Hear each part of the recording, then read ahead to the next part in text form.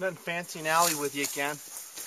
One of my reference blades for survival and combat use is this one, the Cold Steel Trailmaster. I've spoken of it very favorably in one of my tailtop, tabletop reviews, and for good reason. The full flat grind, the 5 16ths width, and that wedge shape of the Trailmaster just makes it an outstanding splitter. If you reprofile it like I've done mine, making that an even more gradual relief edge, it really cuts. For the weight, few few knives really can match a Cold Steel Trailmaster. It remains my favorite. And yes, let's chop down another tree.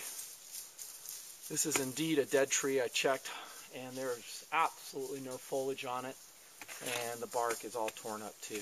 And we're in a remote area, so it's not going to make a difference. I wouldn't even chop down a dead tree in an area where there are lots of people because it's kind of unsightly when you're done. It just shows man's uh, man's presence in those woods. That's why I kind of have to hike and come to remote places like this.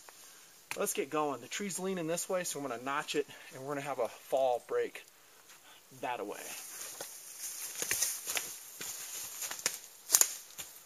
Double check for safety. Use that lanyard when you can. That way the blade won't slip out of your hands.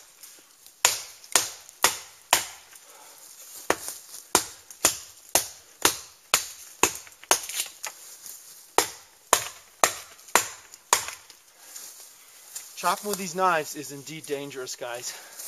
If you slip, you cut yourself like bad.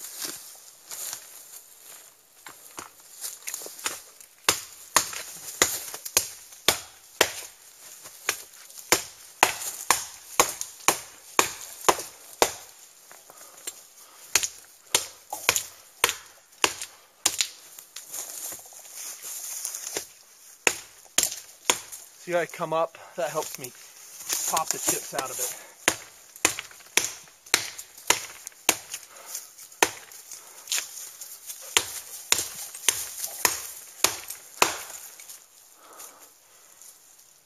Tree's about 30 feet, maybe a little less, maybe 25.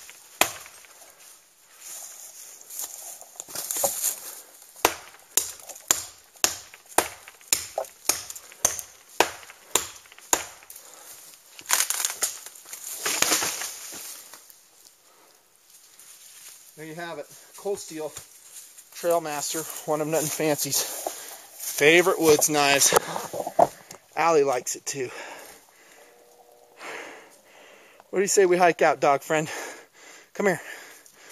Let's get going. What a beautiful night.